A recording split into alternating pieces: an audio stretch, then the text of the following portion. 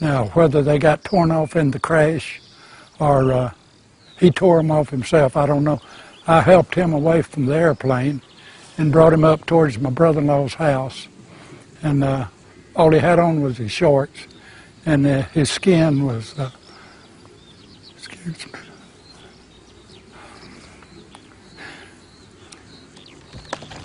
Well, being a paralyzed person myself, I knew that I could do much for them. I was looking and I thought to myself, that'll be the, these people that on that airplane are seeing the last seconds of a normal life that they'll ever live.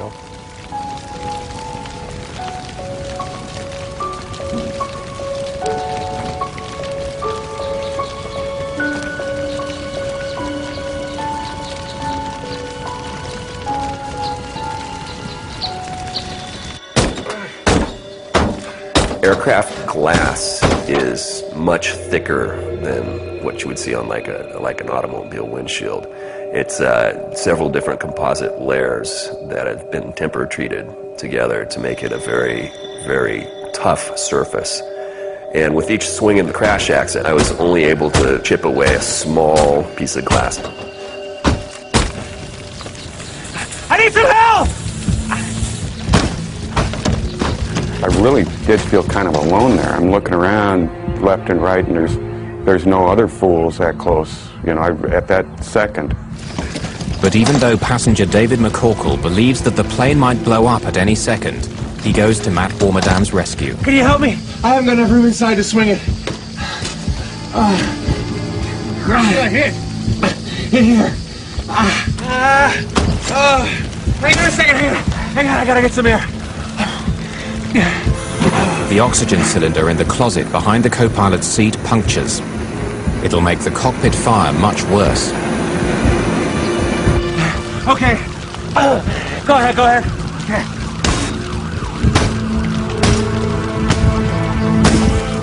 Uh, stop a second. Let me see if I can squeeze out. Ah, ah, ah, Let's get you out of here. Stop pulling me. No, no, it's too small. Go ahead. By now, the rescue crews of the area have been notified. Firemen, police officers, paramedics, all are hurriedly on their way to the crash site.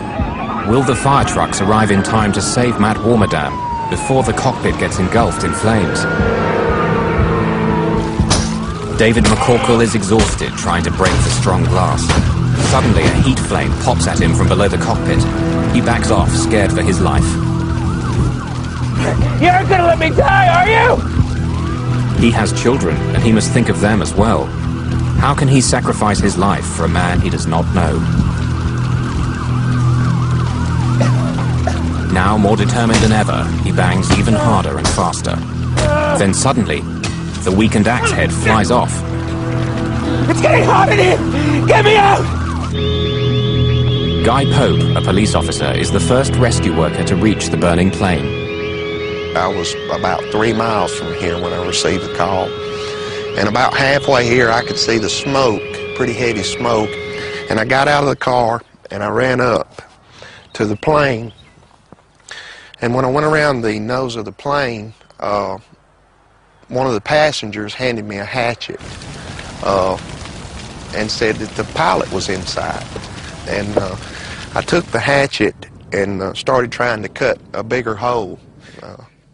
I couldn't get around behind the cockpit because of fire. It was still burning pretty heavy, and there was an oxygen bottle there blowing the fire. And, uh, you know, it's just one of them things. You, you, you see a man burn, uh, you don't forget it. This is live footage taken with a video from the windshield of a Georgia State Patrol police car as rescue workers are arriving at the site. At this moment, all passengers are out of the two sections of the broken plane, except pilots Ed Gannaway and Matt Warmerdam, who remain prisoners of their cockpit. Well, first off, I had to tear the back of the cockpit out.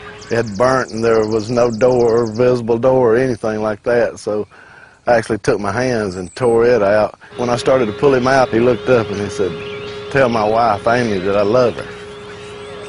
I said, no, sir, you tell her that you love her, because I'm getting you out of here. Inside the ambulance, I worked with him, and I thought that probably he would not make it. I took his name badge and pinned it on his underwear, which was the only thing I'd left on him, trying to cool him down, because I thought that if he died, at least someone would know who he was. Surprisingly, Matt was aware of everything around him, and he kept trying to assure me that things were going to be okay. He was comforting me because at that particular time I was crying. Matthew actually took his burned hand and wiped a tear away. They found Captain Gannaway dead in the cockpit. He had struck his head on impact and never regained consciousness. He died of burns and smoke inhalation. The crash survivors, some with broken bones and others with burns ranging from minor to 92%, are rushed to various hospitals in Georgia. 13 passengers were brought to Tanner Hospital in Carrollton, 15 minutes away, where Code Black was immediately applied, meaning everybody helps. Dr. Bobby Mitchell, after working a night shift, was awakened. He was responsible for treating four survivors, including flight attendant Robin Fech. When I got to the hospital, some of the people uh, that had survived the plane crash were, were, already here. The smell was initially just a wave of uh, jet fuel that just hit you as the door opened, and then that was mixed with just a pungent, uh, horrible odor of burned flesh. When a, a, patient suffers a severe burn, the skin is violated, and the skin really is the major part of your immune system. So people that have been horribly burned, that, that initial defense is violated, and infection, infectious organisms, organisms harmful to the body can very easily get in, and your immune system can just handle so much. When they are able to survive for a period of weeks, it is not uncommon for them to die from other organ failure, which is what happened to a lot of the people that were on Flight 529. I have never before or since dealt with so much um, physical devastation and emotional upheaval and so much sorrow and horror and sadness in one place at one time than, than we did on that day in this, this little small town hospital. After a long day treating the horribly burned passengers and witnessing the courage of some of them, Dr. Mitchell was asked to assist the autopsy on Captain Ed Gannaway. I looked down at him and kind of put my hand over on. I told everybody, I, thought, I hope wherever his spirit is that he knows what a good job he did. And, and I just said, you know, you're the hero. I hope you know it, Captain Gannaway.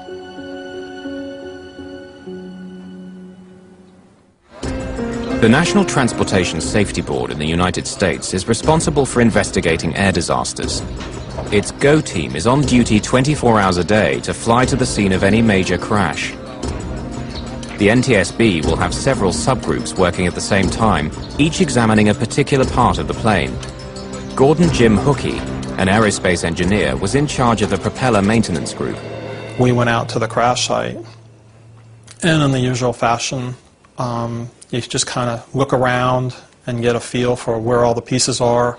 We came along the um, propeller assembly that was missing. Looking down through the dirt, we could see the telltale marks, the beach marks around along the fracture surface that indicated it might have been a fatigue fracture. During the last 10 minutes of Flight 529, no one on board the plane suspected that the engine failure had been caused by a propeller blade fracture. Hookey had good reason to be concerned by the broken propeller blade. He'd seen it all before. Four years earlier, another ASA Brasilia had nosedived and crashed in woods in Georgia, killing all 23 people aboard, including former U.S. Senator John Tower of Texas and Space Shuttle astronaut Manley Sonny Carter. The NTSB's investigation of that incident had found the crash had been caused by a badly designed propeller control unit, and they blamed the manufacturer, Hamilton Standard. Then in March 1994, just 17 months before ASA 529, on two separate commercial flights, identical propeller